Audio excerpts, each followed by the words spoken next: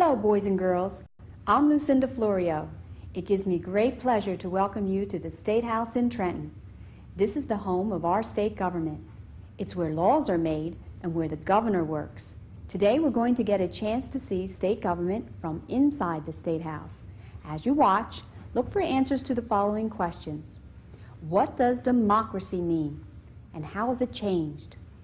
What is representative government? And how are laws made? These are all important ideas that will help you understand how our government works. I hope you enjoy your visit to the State House.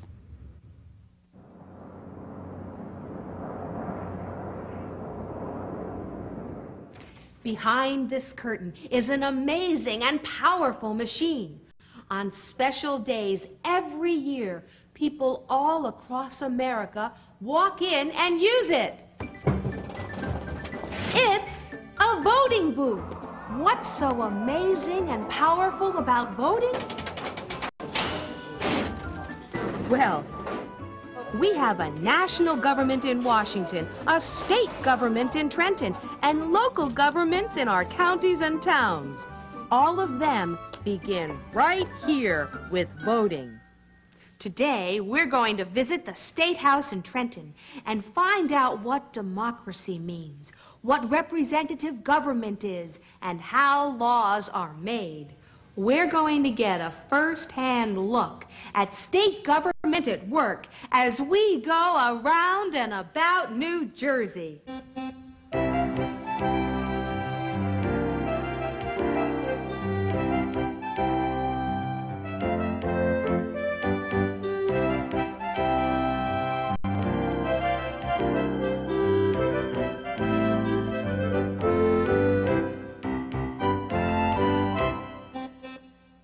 Visit to the State House takes us to Mercer County.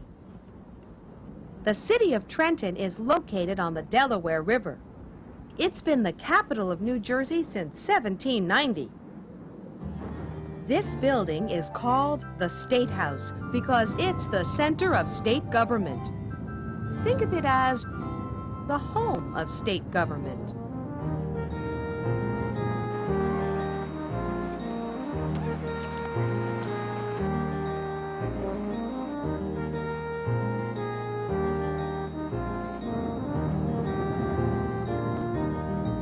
Our first stop is the State House Rotunda. How many of you have ever had the opportunity to raise your hand and vote for something?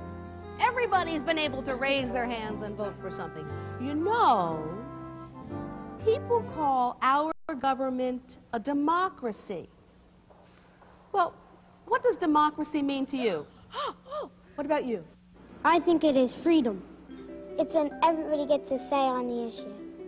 I think it's a chance for you to vote for what you believe in.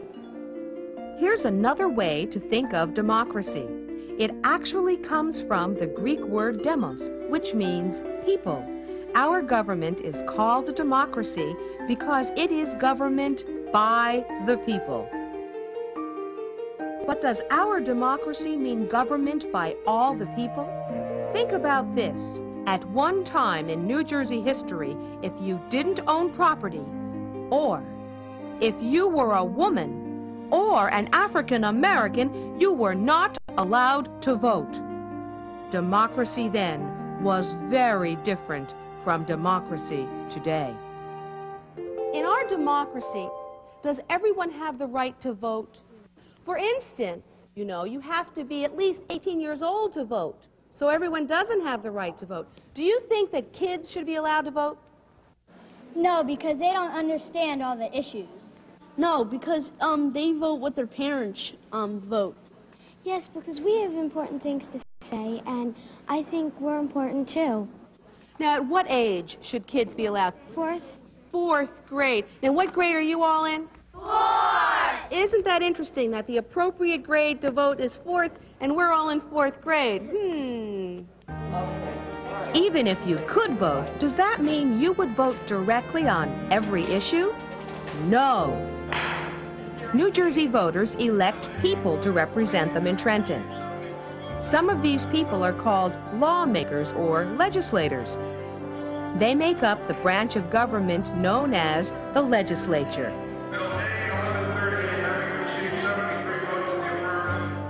Welcome to the General Assembly chambers. Our host at the State House is Karen Polling. This was built in 1891, and it holds assembly members. You know, the legislature is broken into two parts, the Senate and the General Assembly, and you're in the General Assembly.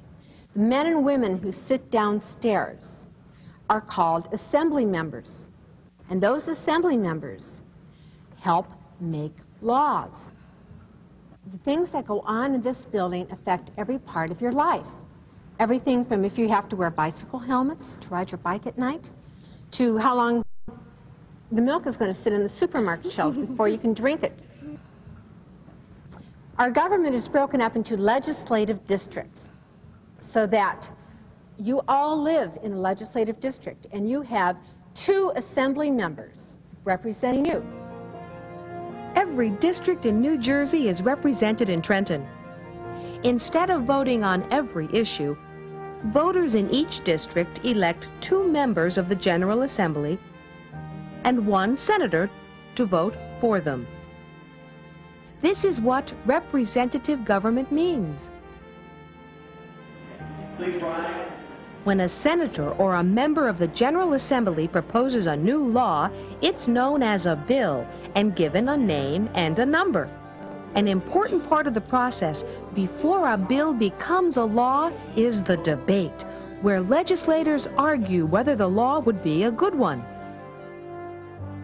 Children, welcome to the Senate chamber. This is where senators vote on bills. They do a lot of other business, but they vote here. Just because the senator wants a bill doesn't mean it's passed. The other senators have to agree. Suppose you're a senator. Senator Holly, say you had an idea for a bill. And say that bill says that you're going to abolish homework. No more homework. Ever. Now, just because she thought of that does not make it a law. Senators just don't come in here and vote.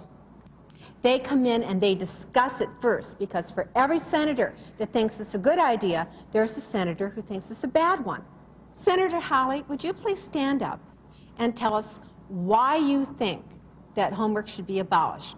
My name is Senator Hawley, and I think that we should not have homework because by the time you get older, your brain is rotted and you have a lot of work ahead of you so that I think that you should not have homework. My name is Senator Kerry, and I think that we should have homework because by the time you're older, you need an education and you won't be able to compete in the real world. My name is Senator Chirag, and I think we should have homework because we go to school and we learn, but if we have homework, we'll be able to understand it more and know it more. I'm Senator Melissa, and I don't think that we should have homework because you won't have as much time for activities. Your homework will take up your time, and you can get frustrated, and you won't be happy with it. Thank you, Senator. Now, we've just had a big debate.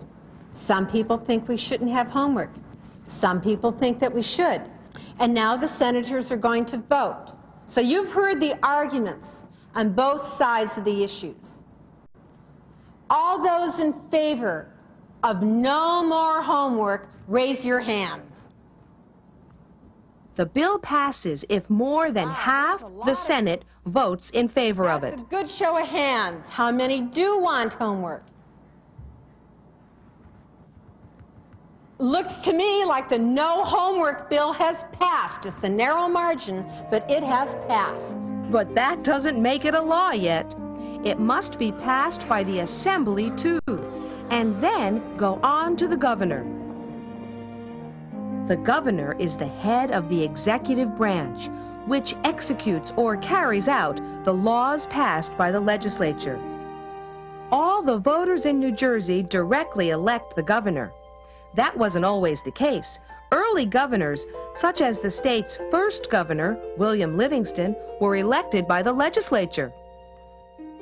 When a bill comes to the governor's office, the governor has three choices. Sign the bill, which makes it a law, veto the bill, which means saying no to the bill, or conditionally veto the bill, which means change it a little and then I'll sign it.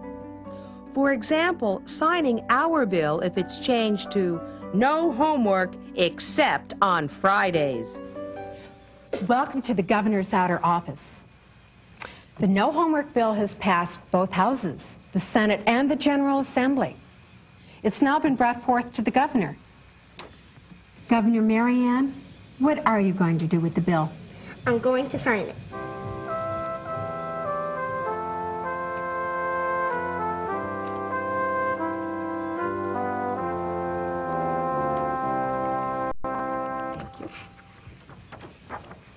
The no homework bill is passed. It is now law. Only a small proportion of bills actually become laws. In one two-year period, more than 9,000 bills were introduced, but less than 700 became laws.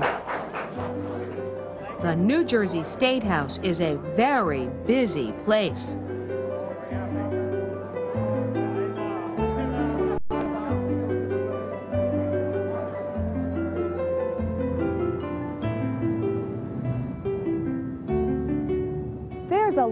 We've learned about our state government, including three very important points.